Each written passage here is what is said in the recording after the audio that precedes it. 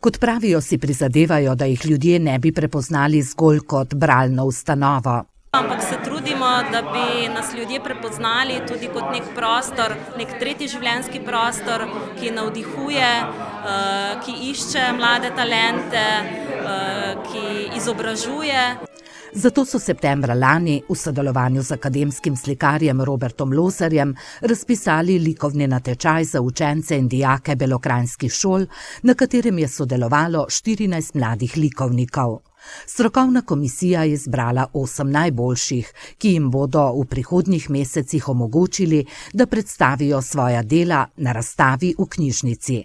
Imeti razstavo nekako je ena, ena dodatna spodbuda za te uh, učence, otroke in mladostnike. Takšni razpisi so več kot dobrodošli, posebno, da se lahko mladi avtori širši publiki predstavijo že pri tako mladih letih, kot je Gal.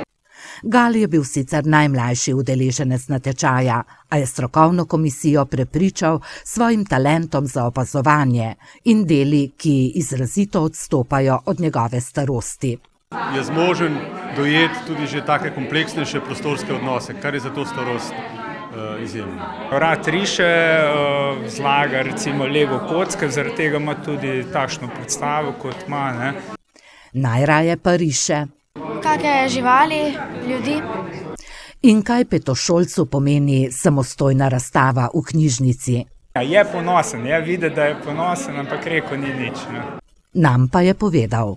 To mi veliko pomeni, sem zelo vesel in ponosen na sebe.